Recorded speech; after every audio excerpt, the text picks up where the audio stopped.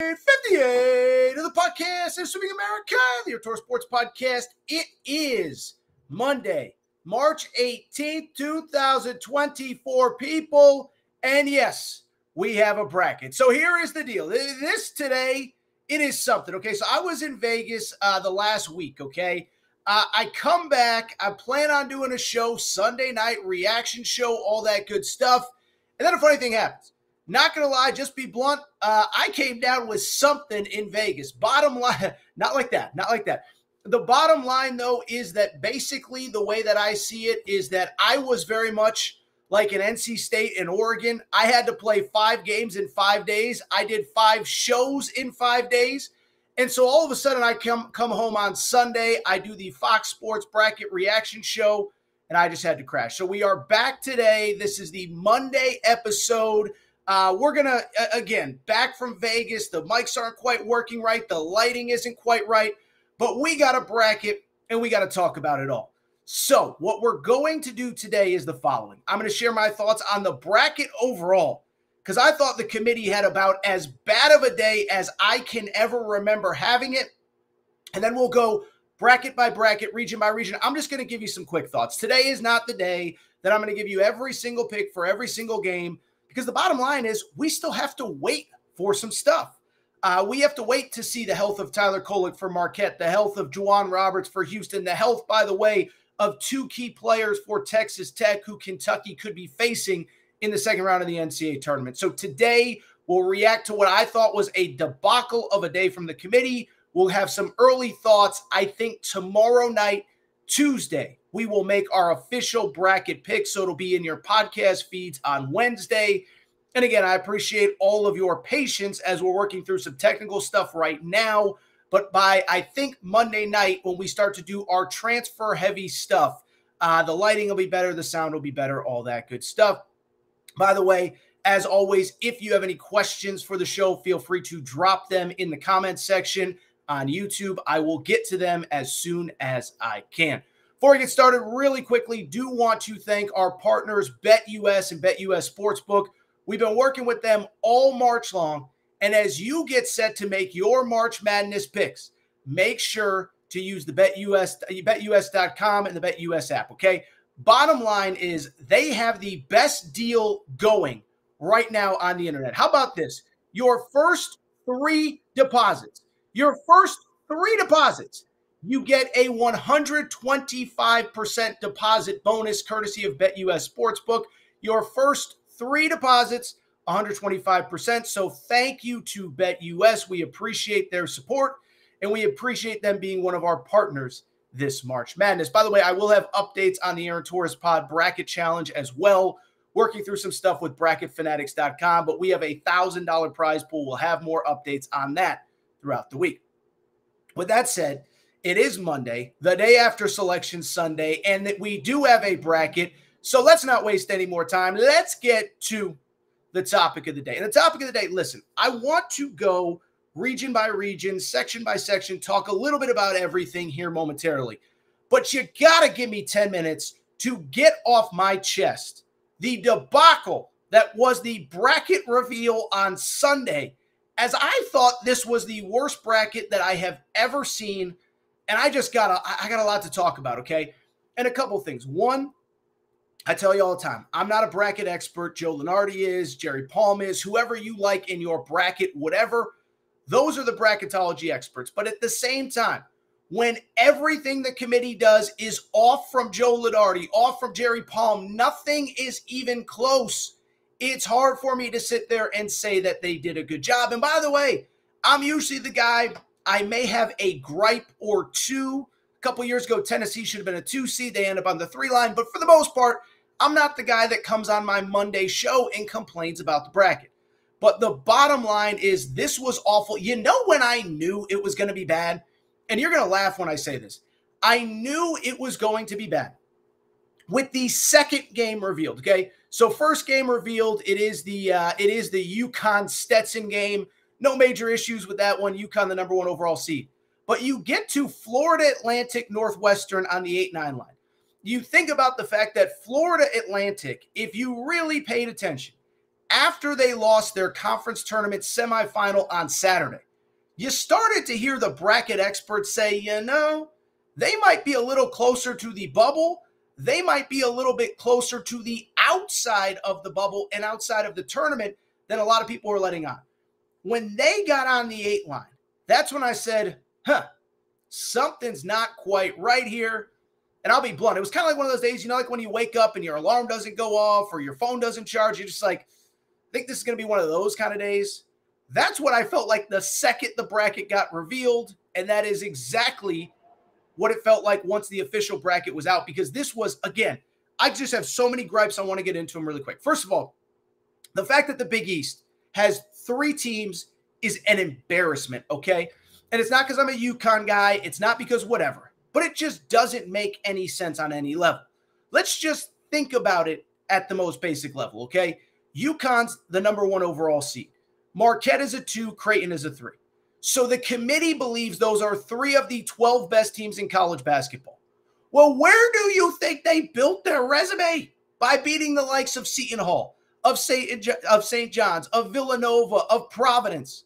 And I'm not saying that all of those teams should have gotten in, but you mean to tell me that there were only three teams that got in from the Big East when, oh, by the way, KenPom had it as its second ranked conference. I believe the net had them as their third ranked conference. It makes no sense. Now, I know part of it has to do with the fact that we had all these bid stealers, okay? I get that for people who don't follow this on a day to day, minute to minute basis, my guess is if you're watching this show, you probably do. But we had five teams that the committee says would not have been in the bracket if they had not win their won their conference tournaments uh, NC State in the ACC, Oregon in the Pac 12, Duquesne in the A10, UAB in the AAC, and New Mexico in the Mountain West. So I get the idea that those are five bids. By the way, Mexico should have been in. That's another conversation we're going to get to in a minute. I get that there are five teams that should have been, that would not have been in, that got in.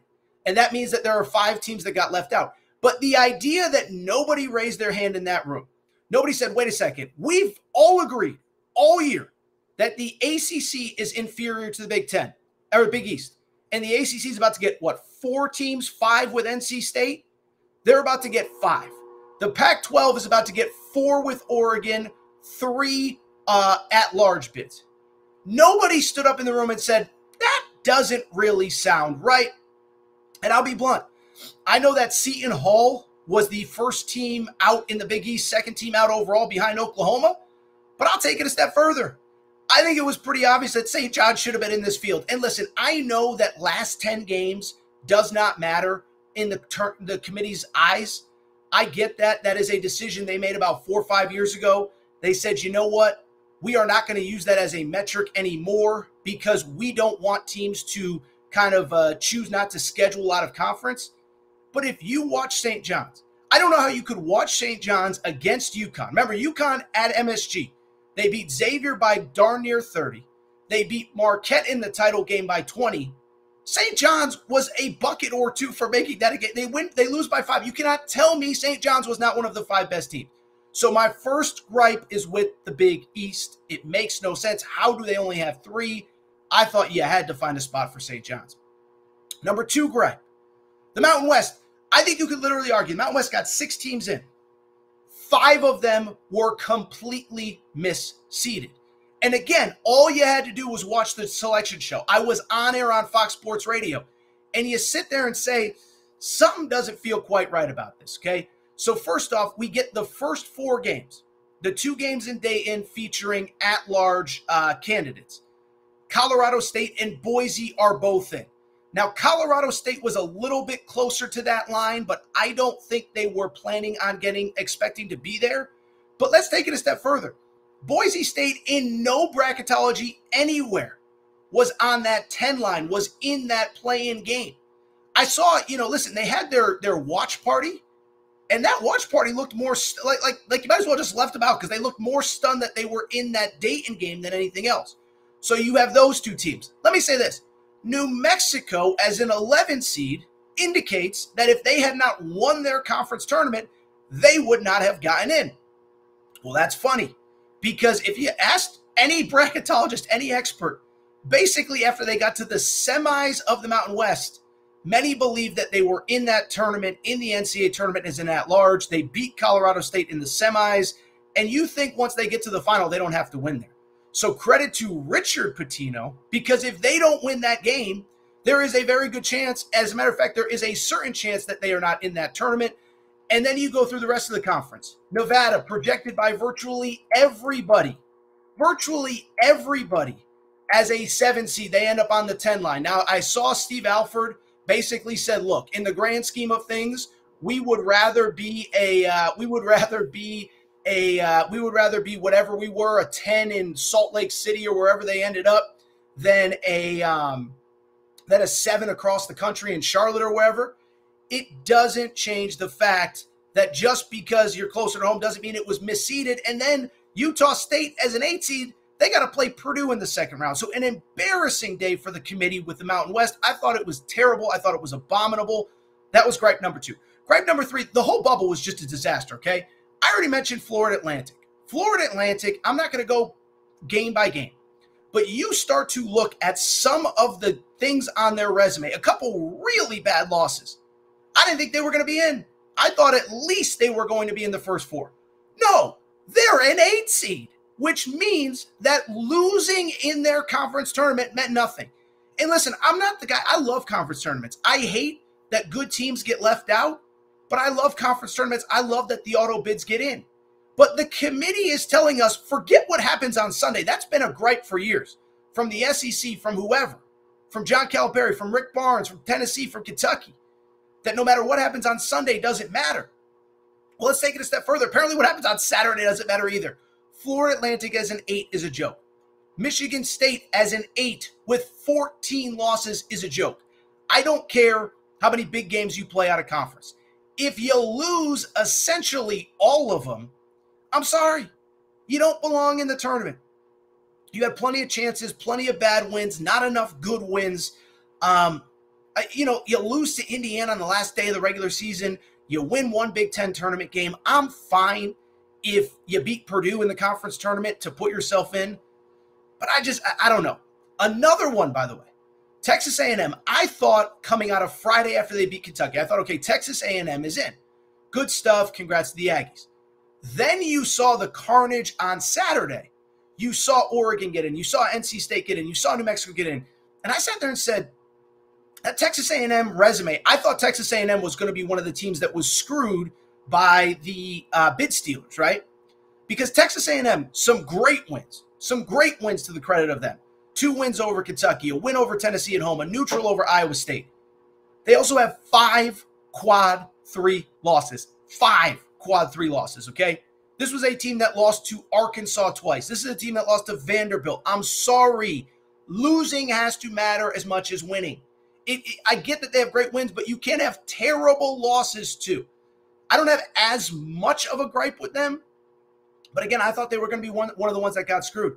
I thought Virginia getting in was a joke. We all agreed all year the ACC stunk. Virginia did nothing late in the season to make us feel better. Now, if they had beaten NC State, if they get to the ACC title game, that's fine, but you lose to NC State. I'm sorry. This stuff has to matter. Again, at what point do the conference tournaments not matter at all? And if they don't matter at all, then we should just stop playing them. And I love conference tournaments. I was at the Pac 12 Mountain West all weekend long.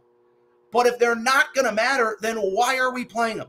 Why are we asking fans to spend thousands of dollars to go to these sites, to go to these events? It pisses me off. It drives me crazy. And then finally, my final gripe you know, listen, I'm not saying this as a UConn fan, but I think, and by the way, as far as the bubble's concerned, I do think St. John should have been in. Indiana State, a top 30 net team. Again, I think that sets the wrong message when you put in a Michigan State on the nine line, when you put in a Florida Atlantic on the eight line. Florida Atlantic basically has one great win all year at Arizona against Arizona on neutral. That's it. Finally, um, my last big gripe, and this is not me being a UConn homer, but I didn't really break down the bracket until I got home later in the night. And one thing that it seems like everyone seems to agree on UConn, as the number one overall seed, got the toughest draw in the tournament.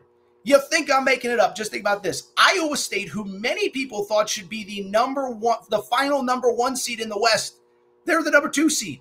So what you're basically saying is if UConn really is the top number one overall seed, then what you are saying is that Iowa State is the worst number two. Now, I think they should be a one, but the worst number two? You got to be kidding me here. Uh, also, on top of that, you have the, the Big Ten champion Illinois as the three seed. You have the all the, the SEC champ Auburn as the four seed. Auburn statistically, depending on what metric you look at, is like a top five to seven team in the country.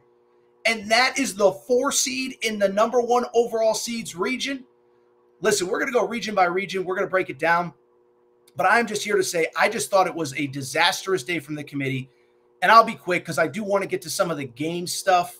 But I do think two things stand out to me. One, I've said two things for years, and I think it's unquestionably true this year. First off, one, I do think you need someone besides ADs and conference commissioners in that room. Because at the end of the day, listen, being an AD is a tough enough job as it is, okay? You got a lot going on. Greg Byrne was on that committee. You think Greg Byrne, when he had to go negotiate Nate Oats' extension, was telling Nate Oats' agent, hey, hey, hey, buddy, can you give me about 10 minutes? I got to catch the end of this Boise State Utah game. I'm on the selection committee. I think when he was flying to see Kalen DeBoer in late January to hire him as his next head coach, he was like, hey, you think we stop by Washington State so I could check out the Cougars in person? No. And so to me, you need somebody. Listen, I know everybody likes to rag on Joe Lunardi. But by the way, he was coming at me in my mentions on on uh, Sunday, which was kind of crazy because I thought he was busy enough without without me distracting. But I bring it up because get a Joe Lunardi, get a Jerry Palm, get somebody who watches all of these games, but then also understands the numbers and metrics behind it. I'm not saying put media in so Torres gets a spot because I've said I'm not a bracket expert. I don't crunch the numbers every day like Lunardi does, like Mike DeCourcy does, like Joe uh, uh, Jerry Palm does. But you have to have somebody that sits there and says, "Wait a second now." Let's let's actually look at that Florida Atlantic resume a little closer. Let's look at that Michigan State resume a little bit closer. Are we sure we can't find a spot for Indiana State? I also think we need to take an hour after the Big Ten championship for that exact same thing. If we're not going to bring in Joe Lunardi or Jerry Palm, let's at least have everybody sit up in that room and say, I want everybody, it's like kindergarten, right? Silent time. Take 10 minutes. I want you to look at this bracket and tell us what you think. Are we missing anything? Because there has to be a better way to do this. And I swear, I am not complain about the bracket guy, but this was just an embarrassment on so many levels. I think so many teams got screwed. And remember, when you misseed a Utah State, all that does is hurt the team that they're playing in the first round. It hurts Purdue in the second round. When you misseed Iowa State, it hurts Illinois as the three seed. When you misseed Auburn, it hurts UConn as the one seed. It hurts San Diego State as the five seed. So I could go on and on. It's disappointing, but I do actually want to talk a little bit of basketball. All right, let's get to some of the actual basketball. Crazy, I know, right? Like it's like what we could actually talk some of these games here, and I do want to dive in. And what I want to do, I want to go region by region uh, with, with with all these games because at the end of the day, look, um, you know, as I said to lead the show, if you're just joining me, totally get it. No, it's a busy Monday. You were hoping for Torres on Sunday night. Shame on me. Um, but I just bring it up because we are not going to do uh, our bracket picks just yet because at the end of the day, listen, there's still a lot of stuff that we got to figure out. One, we have to deal with the uh, we have to deal with the uh, figuring out just in general um, what is going on with the the first four games. So that's the first part. We got to figure out who wins the first four games, etc. But beyond that, I think you got to look at injuries. What's the status of Tyler Kolek at Marquette? What's the status of J'Wan Roberts at Houston? What's the status of a couple guys at Texas Tech? Because I think you have two of uh, Texas Tech's potentially three most important players might not be available for them in this NCAA tournament. But let's go ahead and dive in. And I just want to give quick thoughts on all the regions. Let's start with the East region. If you're watching on YouTube or if you don't, if you have a bracket in front of you, that is your top left region. That is the one, of course, with uh, UConn as the one seed. With on top of that, you also have as the two seed. We talked about Iowa State. The three seed is uh, is Illinois. The four seed is Auburn.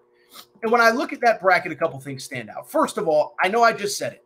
But that is the bracket of death, right? We hit, when we do the the World Cup every year, there's all or every four years, I guess it is. There's always that like it's like Group C is the group of death. Well, the East is the bracket of death because it's so funny. Coming into this week, you thought about UConn potentially being a team that was going to go through Brooklyn and then Boston. They wouldn't have to get on a flight to go to the Final Four. That's great, but you got to go through the bracket of hell. And when I look at this bracket, Iowa State is the number two. Listen, I will say, I don't think there was much of an argument for Iowa State as the final number one seed because they were one of those schools that, whether you agree the Big 12 has manipulated the net or not, Iowa State had basically the worst out of conference strength of schedule of all the power conference teams. And so I do think if we are going to say the non conference matters, and we do say it does because we don't use the last 10 as a metric, then we also have to acknowledge that you can't reward Iowa State for playing nobody in the out of conference. So I had no problem with them being not the final number one, but for them to be the top number two, the last number two in UConn's bracket, that's crazy. And what I will say, and I say this as a UConn guy, UConn got a heck of a draw and a tough draw. Because to me, when I look at UConn, what do I always say about UConn? How do you beat UConn? There's a couple ways. One, first of all, you have to match their toughness and intensity. I've watched so many UConn games this year where it's close for eight minutes, 12 minutes, 15 minutes, maybe even 25 minutes into the second half. And then they are just so relentless. They dive on the floor for every loose ball. They fight. You got guys like our buddy Hassan Diarra, who will be joining us later in the week. Tristen Newton getting offensive rebounds, throwing elbows. And if you don't match that intensity for 40 minutes, you're not going to beat them. Well, what would you describe Iowa State as? Intense and mean. What would you describe Auburn as? Intense and mean. And so those are two teams that I think match up with UConn. Now, the other thing with UConn, which is important, one, you got to be good enough defensively to slow them down. Those are two very good defensive teams. Iowa State, number one, I believe, in field goal percentage defense after the Big 12 championship game. Auburn, top five, top 10 in KenPom defensive efficiency. So you have to be able to get stops. You also have to be able to go score for score, which is what worries me a little bit about both those teams. Both those teams are good, but not great three point shooting teams. I mentioned it when UConn lost to Creighton. I said to beat UConn, what you have to do. You have to be great defensively. You have to have size down low to not get killed on the boards, and neither of those teams will by any stretch. You also have to be able to hit threes. And so I think that's the big thing for me. Iowa State about a 34, 35% three point shooting team. Same with Auburn. I think they probably got to shoot closer to 40% to beat UConn. But on one day, that can absolutely happen. I think both those teams are built nicely to beat UConn. If you're looking for a couple upsets in this bracket, you know, the one that really stands out to me, and I like Illinois, but this is a matchup based tournament, and you can't look at what you thought was going to happen before we saw the bracket. You have to go matchup by matchup, second by second, minute by minute, and figure out okay, how do these teams match up? And so Illinois is one of the most explosive offensive teams in college basketball 74 points per game, we talked about them in the Big Ten tournament. We said they, they could put the ball in the basket with anybody. Terrence Shannon averaging 23 points per game. Uh, as a team, they are averaging like 84 points per game, four guys in double figures. Here's the issue, though. Morehead State plays one of the slowest tempos in college basketball. They are elite defensively across the board. And so, yes, if Illinois gets up 22 to 6 in the first eight minutes, I don't know that Morehead State will be able to come back. But I think Morehead State's going to be able to dictate tempo. And I think because Illinois is a little iffy on defense, if Morehead State can keep it close, it's going to be one of those games. The longer it goes, the less Illinois can run, the less tempo there is, the less they're able to put the ball in the basket, the more they tighten up, the more that crowd, I believe they're playing in Omaha, Nebraska, starts to root for the other team, starts to root. They all become at that point, obviously, uh, Morehead State fans. So I don't know that I'm ready to pick it just yet, but I do not like that matchup for Illinois. I also think, by the way, BYU, if Morehead State pulls off the upset, you could see BYU win back to back games. I think they match up well with Duquesne. And I think they would struggle with Illinois, but could potentially beat Morehead State. Other thoughts, you know, Washington State just being in the bracket is awesome. First time since 2008. Obviously, that was the second longest power conference uh, run of any team out. So DePaul is the only power conference team that has been longer to the NCAA tournament before this year. Credit to Kyle Smith. And then also, just thought it was interesting. Iowa State playing South Dakota State at the end of that bracket. TJ Otzelberger, of course, was a one time South Dakota State head coach. And oh, by the way, on top of that, he uh, was at South Dakota State. He went to UNLV. Now he is at Iowa State. If you're just joining us, appreciate everybody's support. This is our bracket recap thoughts show. And again, I promise you, we will have our full bracket picks. We'll do a Tuesday night show. If you have any questions, drop them into the comment section. I will get to them after. And again, do want to apologize for the sound, for the lighting. It was a debacle of a weekend in Vegas. Your boy Torres has to go to uh, Best Buy after I'm done with this, get some tools to get this thing back on track. But uh, it's been a crazy couple days. Uh, four hours on our Fox Sports Radio bracket show. Now we're doing our bracket show here. Let's get to the West region. Okay, so this is your bottom left if you are, of course, looking at a bracket. Um, and I think there's a couple things that that that start here. First off, you know, th- there was some gripes about North Carolina being the final number one seed. I can't get too worked up about it. I think if you had asked me going into this past weekend, going into last week, I should say, I think Tennessee would have had the inside track as the number final number one. Then I would have put Arizona. Then I would have put Carolina. But Tennessee did not win a game at the SEC tournament. Uh, Carolina goes to the conference championship game. Arizona loses in the semis. And so Carolina wins two games. I have no fundamental issue with them being the number two seed. I do wonder if they wish they could be a little closer to home and be the be a two seed back east or in the south, as opposed to being the one seed three thousand miles from home when you could have to play Arizona in Los Angeles. And so when I look at that bracket, that's actually my number one takeaway. Listen, I, have I've rode the roller coaster with Arizona. I said after they beat, uh, I said in the, the the early season, I said that's the best team in college basketball. Then there were ups and downs, peaks and valleys. We've talked about it. They lose at Stanford. They lose at Oregon State. They lose at USC. Last time I checked, none of those three teams are in the NCAA tournament or anywhere close. But when they play well, that is a team that I believe can play with anybody. And what's interesting about Arizona, that West Regional is in Los Angeles. And so for them, if they can get to LA, if they can get to the Sweet 16, they will have a significant home court advantage over everybody else that they could potentially play. And with that, I kind of like the draw. I think Dayton, Nevada is going to be a great opening round game. Thursday, 4:30 Eastern time. That game is in Salt Lake, I believe. Dayton, if you haven't seen him, they got an NBA player, DaRon Holmes. He's like a former top 30, top 40 prospect. 6'10, hits threes, buckets, gets rebounds, averages like 23 a game.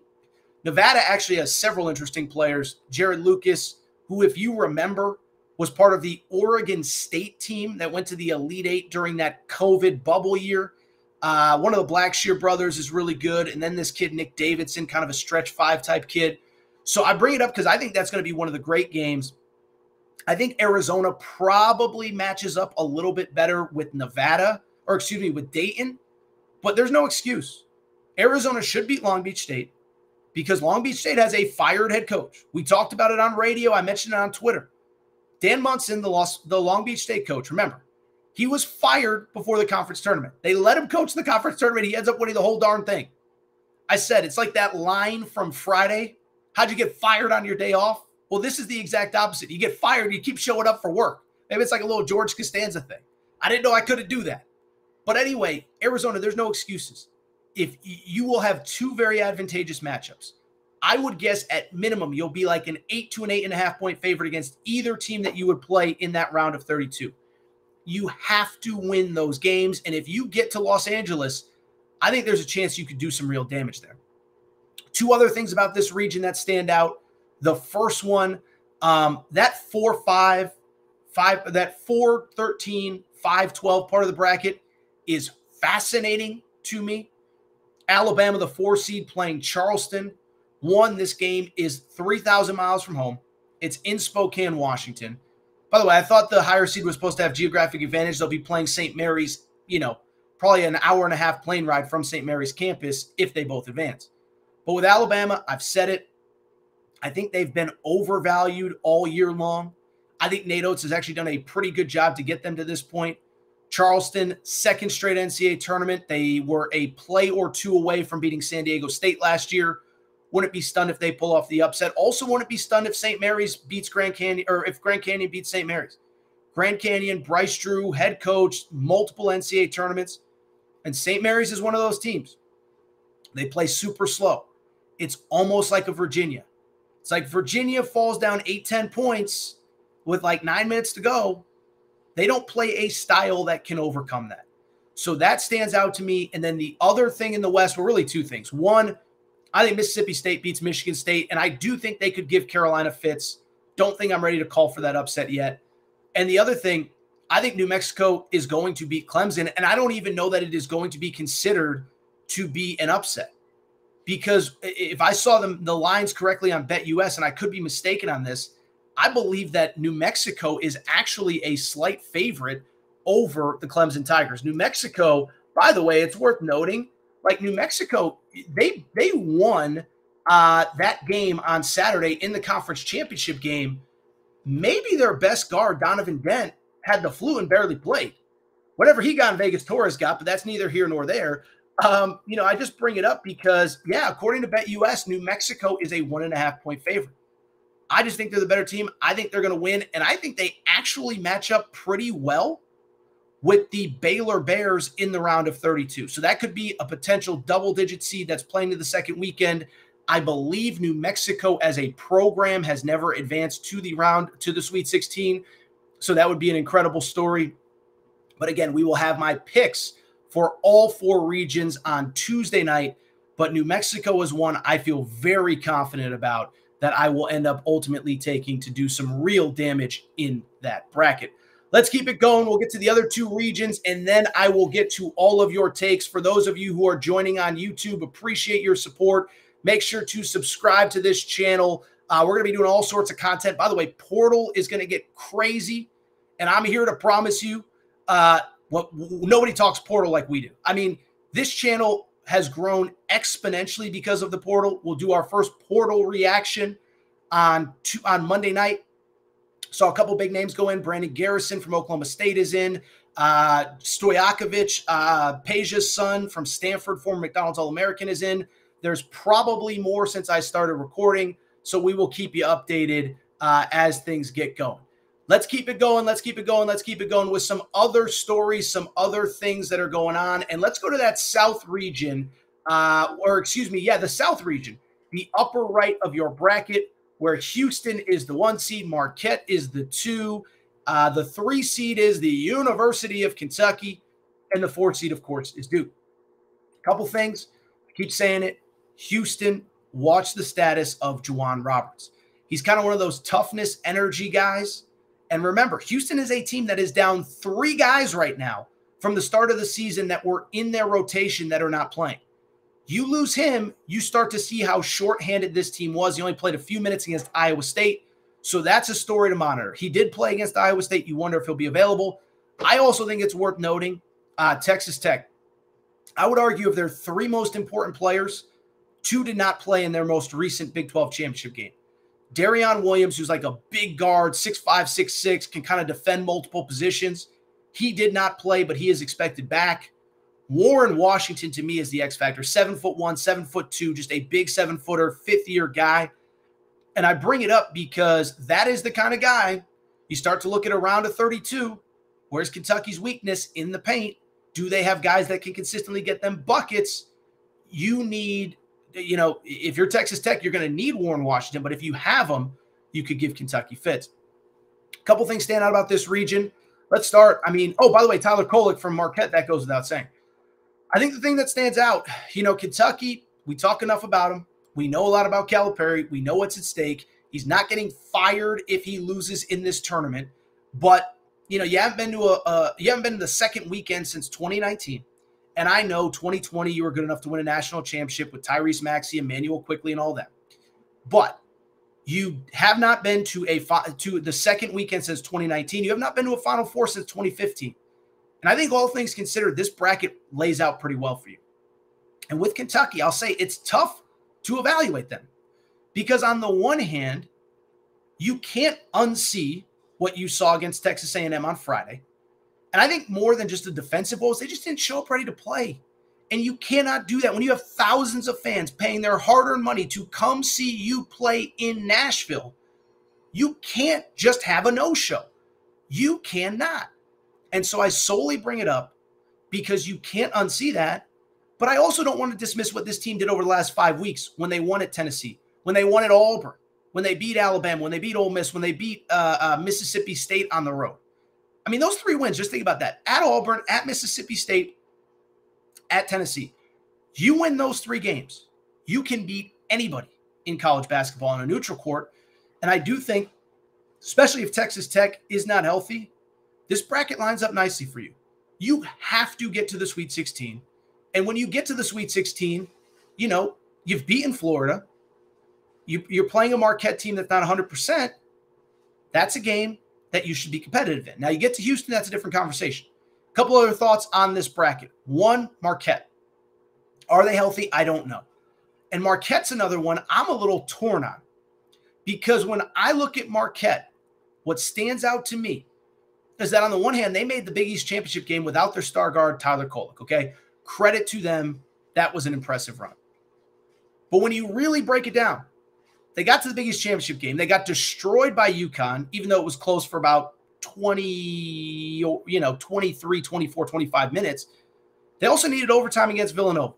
They also had to pull away late against the Providence team that was beat up, down guys, third game and third night, short bench, whatever. So are they really that improved? Are they really that good? Or could they have lost in their opener of the Big East tournament, not even made it to Friday, let alone Saturday? Florida, we all saw that gruesome injury from their center, Micah Handlogten. I'll be curious to see how that how they handle that. He was a, an important part. I wouldn't say he was the be all end all because he was a guy like he was a starter, but he didn't necessarily play a ton of, of minutes. And so I just bring it up because um, you know you look at that injury. On the one hand, it could just be one where Florida doesn't recover from that. On the other hand, he was playing about 19 minutes per game. Tyrese Samuel played a lot at that five spot. They play a lot of four out guards. And so I just I don't know what to expect from them in that spot. Uh, beyond that, I'm trying to think of what else stands out. I'll tell you what stands out.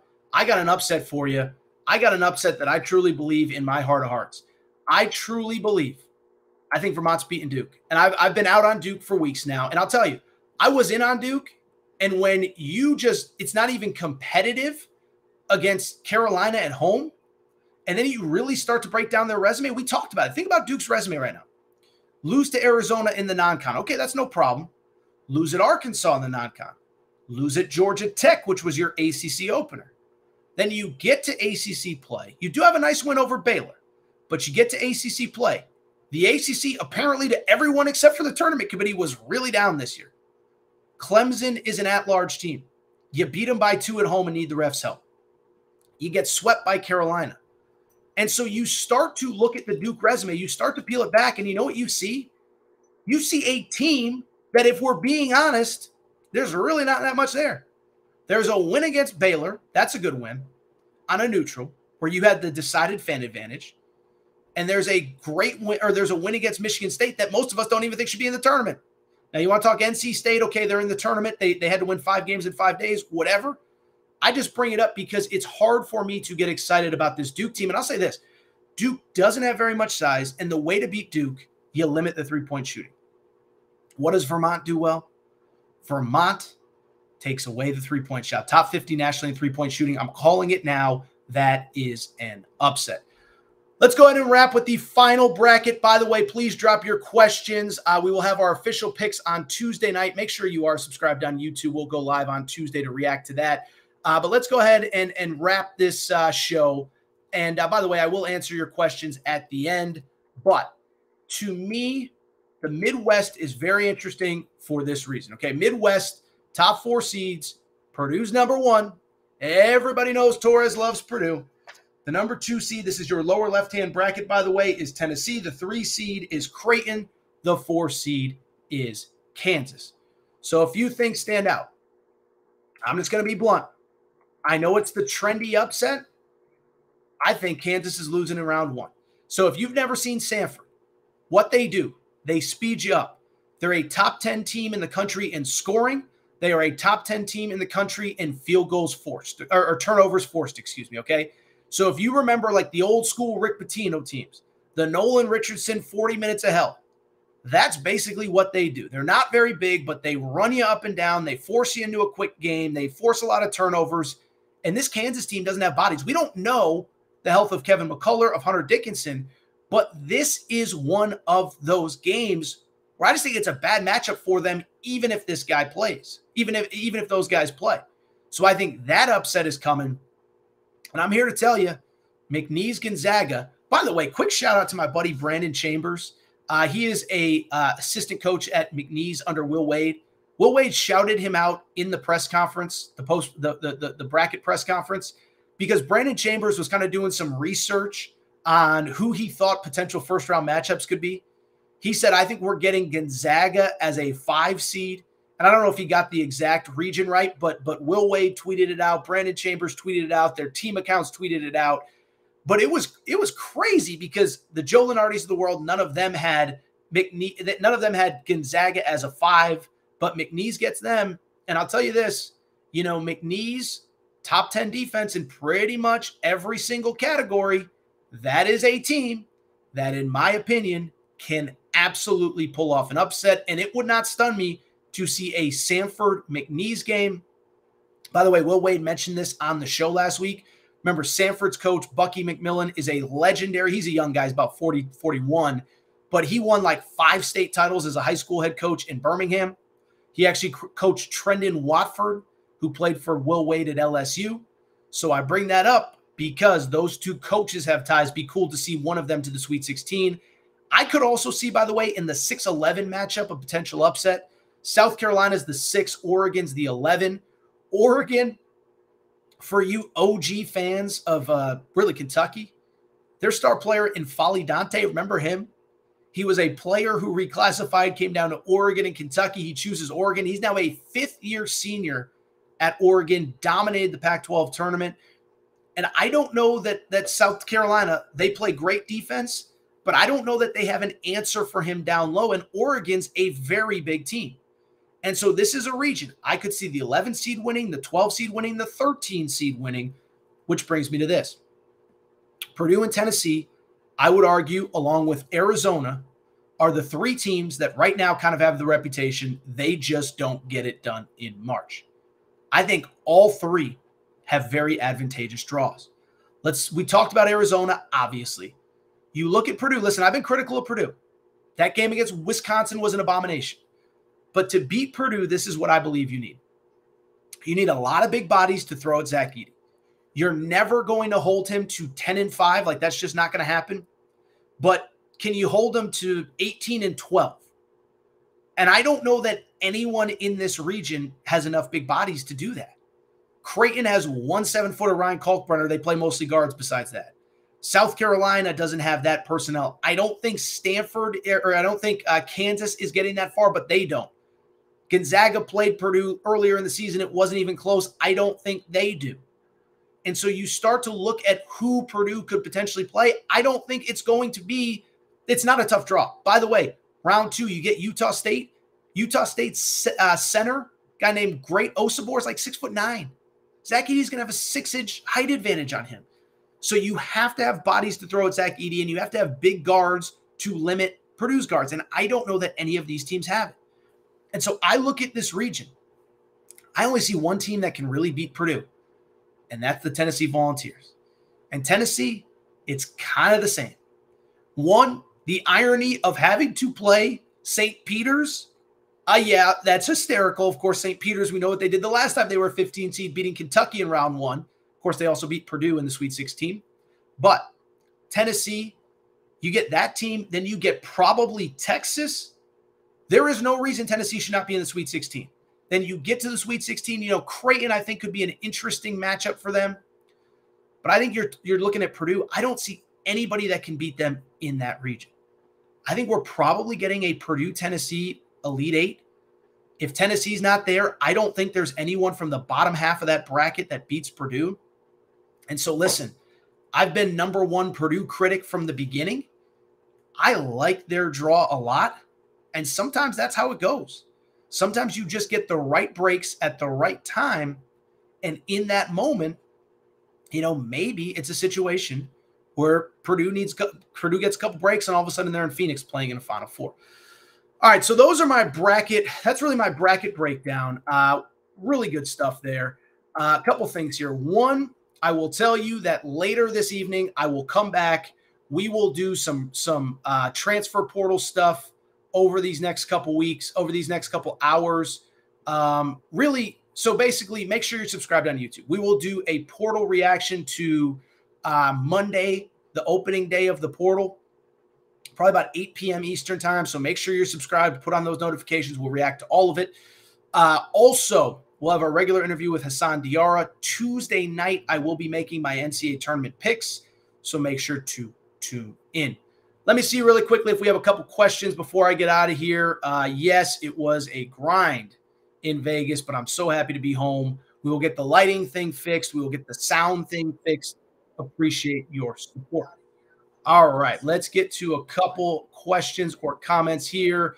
Paul says, I thought what happens in Vegas stays in Vegas. Uh, yeah, Paul, I'm not here to talk about that. Uh, but no, uh, Vegas was fun. But I bring it up because um, when I look at what happened in Vegas, I sit there and say, uh, yeah, wasn't that bad. Uh, Mike Luke, my buddy from Arizona, got me sick. Uh, no comment on that. Three Big East teams is a joke, says Christopher. He's right. Faith says, I cannot in good consciousness root for Southern Cal, UCLA, Syracuse, or Loyola Marymount because of my family lineage. I went to community college. Little confused on that one, but that's okay. Uh, John Hume says, Go Big Blue. I agree. Paul says, Any take on the top teams turning down the NIT? Um, top teams turning down the NIT. All I will say is, I actually see both sides. To me, I, I actually thought Tom Crean, and I think a lot of you would agree, I thought his take on that whole situation was was actually very interesting. I also think, listen, we've devalued everything other than the NCAA tournament. And more than that, while we have the portal going on at the same time as the college basketball postseason, guess what happens? You're going to have coaching staffs that basically say, listen, my guys don't want to play in this. We thought we were going to be in the NCAA tournament, and I got to start building my roster for next year. And it's actually advantageous to not play in the NIT because you can fully focus fully on the portal. You can focus fully on processing your roster, who's staying, who's going. And then you can also figure out, okay, what am I doing and who are we pursuing in the portal? By the way, I remember this was an issue last year. I remember LSU of all teams, Matt McMahon, who I like. He had like, you know, they were doing home visits and official visits as everybody was getting ready for the first weekend of the NCAA tournament. Everyone's like, wait a second now. He, he finished last in the SEC and he gets the advantage of talking to all the best players first and going in home. So this is the system we've set up. I don't really blame the NCAA because every time the NCAA tries to change something, the lawyers get involved. And I think kids want to figure out where they're going. I think they want the portal open early. And I don't think it's going to change until all of college sports changes. So I get the point. I wish there was something different, but I also thought Tom Crean's point was actually pretty good. A uh, couple bear downs. We got some Arizona fans in here. Um, but I'll tell you what, I think that's it. We've done an hour here uh, we've been live for just about an hour now. Uh, I do think it is time for me to get out of here. Appreciate everybody tuning in. A couple things. Again, final time.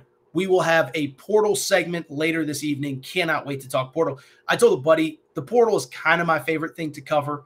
And so we're going to have portal reaction here, uh, probably about 8 p.m. Eastern time. Make sure you're locked in. But other than that, I think that's about it. If you're not subscribed to the show, please make sure to do so. Apple, Spotify, Amazon Music. Also, make sure you're subscribed on uh, on YouTube. Click those notifications because we are going to be going live, all sorts of stuff, all sorts of portal, NCAA tournament, whatever. Again, Tuesday night we will have my official bracket picks that'll probably be going on during some of those late games.